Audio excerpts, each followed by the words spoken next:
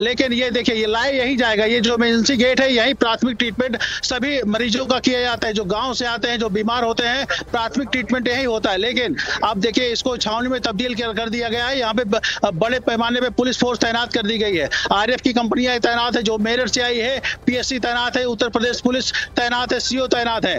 अभी additional SP भी थोड़ी देर में आए थे, लेकिन पिक करने के लिए गए थे रास्ते में, वो भी अब आ चुके हैं। तो एंबुलेंस दूसरे रास्ते से अंदर आ रही है, और चूँकि मेडिकल कॉलेज का परिसर थोड़ा बड़ा है, इसलिए दूसरे गेट से मेडिकल इंटर हो रही है। वो एंबुलेंस इंटर हो रही है। देख रहे हैं, गाड़ी का मूवमेंट शुरू हो गया है। अभी थोड़ी देर में जो इनकाउंटर में घायल हुए हैं, जिनके दोनों पैरों में गोली लगी हुई है, दो अपराधी हैं, वो अभी थोड़ी देर में इमरजेंसी में आएँगे, उनका इलाज यहाँ शुरू होगा।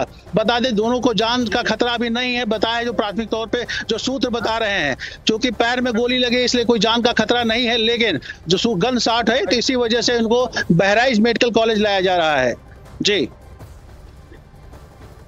तो पूरी अपडेट यहाँ पर आप तक पहुँचा देते हैं जो तस्वीर इस वक्त आप देख रहे हैं। दोनों तस्वीरों को गौर से देख लीजिए। अब डिटेल यहाँ पर सुनिए। दरअसल दरअसल जो तस्वीर इस वक्त आप देख रहे हैं, वो मेडिकल कॉलेज के परिसर की है, जिसे छावनी में तब्दील कर दिया है, क्योंकि बस कुछ ही देर में अमित आप भी पहुँच जाएँगे और जो हमारे सहयोगी जानकारी भी दे रहे हैं कि दोनों आरोपी जो कि जख्मी हो गए हैं इस एनकाउंटर में, जिनकी हालत खतरे से बाहर बताई जा रही है, क्योंकि गोली पैर पर लगी है, वो भी पहुँच जाएँगे। हालात को काबू में करने की कानून व्यवस्था की पूरी पूरी कोशिश नज़र आती है, लेकिन सिलसिलेवार तरीके से अमित एक बार फिर से समझाइए कैसे ये पूरी मुठभेड़ होती है, कैसे पाँच आरोपी गिरफ्त में आते हैं।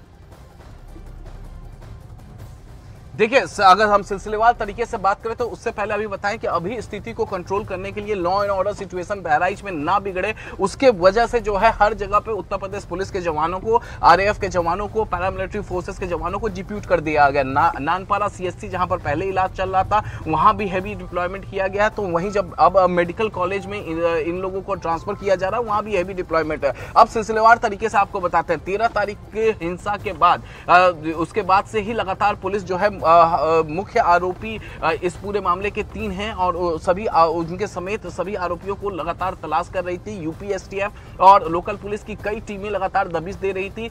जहाँ जहाँ जानकारी मिलती थी इनपुट मिलता था वहाँ वहाँ दबिश दे रही थी। ऐसे में आज भी लोकल पुलिस और यूपीएसटीएफ पूरी तरीके से अलर्ट थी और उन लोगों के एक इनपुट था कि ये आरोपी जो है वो नेपाल भाग सकते हैं क्योंकि नेपाल में इनके रिश्तेदारी है। जहाँ पर यह हिंसा हुआ है वहाँ से महज 50 किलोमीटर की दूरी पर इंडो नेपाल बॉर्डर है। जैसे ही सरफराज उर्फ़ रिंकू और तालिब जो है नेपाल भागने के फिराक में थे और जैसे ही नानपाड़ा के आसपास वो देखेंगे ठीक अमित लौटेंगे आपके पास ज़रूर लौटेंगे और डिटेल दर्शकों तक पहुंचाएँगे लेकिन जो बहराइच से सीधी तस्वीर इस वक्त आपके सामने आ रही है वो दरअसल उस मेडिकल कॉलेज के परिसर की है जहाँ पर कुछ ही देर में यह बताया जा रहा है कि पहुँचने वाले हैं वो दोनों आरोपी जो नेपाल भागने की फिराक में थे।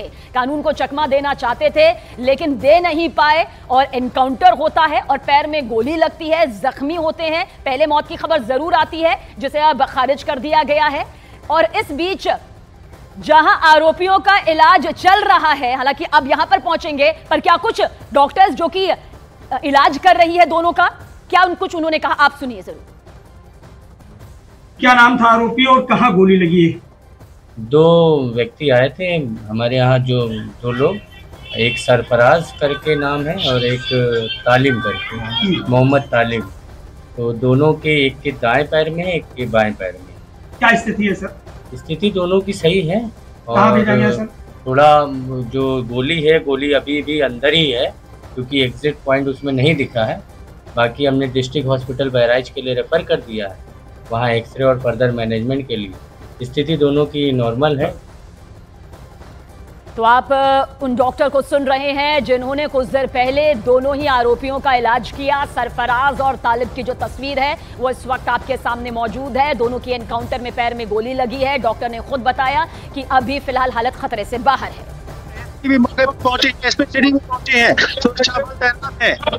एसपी भी बिरदा शुक्ला मौके पे आ गई अभी तक किसी ने कोई डिटेल नहीं दी है।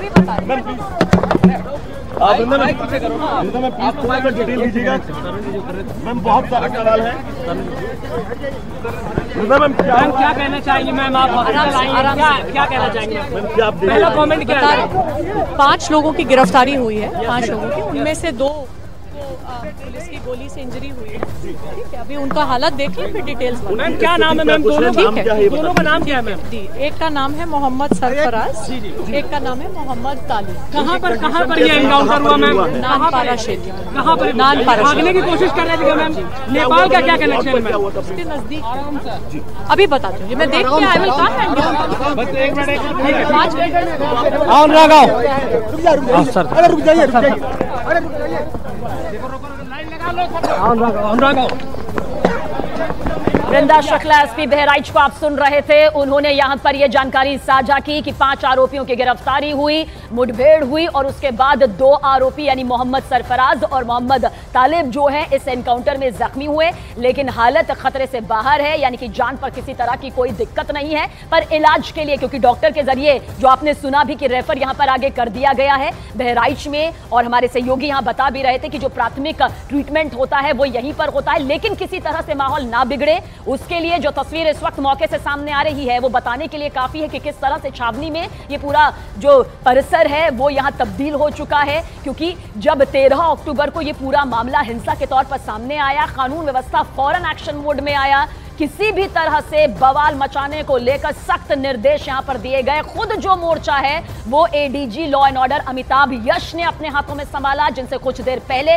बातचीत भी हमारी टीम ने की और बताया उन्होंने कि फ़िलहाल पाँच आरोपी जो गिरफ्त में आए, दो के साथ मुठभेड़ होती है। नेपाल भागने की फिराक में रहते हैं, ऐसे में पैर में गोली लगने की खबर उन्होंने हमसे सबसे पहले साझा की और यही ठीक खबर सामने आई है कि पैर में गोली लगी है, जिसके बाद इलाज के लिए भर्ती करवाया गया। अमित हमारे सहयोगी, हमारे साथ जानकारी के लिए मौजूद है। अमित, वृंदा शुक्ला, एसपी बहराइच को भी हम सुन रहे थे। हालाँकि बहुत ज़्यादा डिटेल तो नहीं, लेकिन बताया, पाँच आरोपी, दो जख्मी और फ़िलहाल बहराइच में ट्रीटमेंट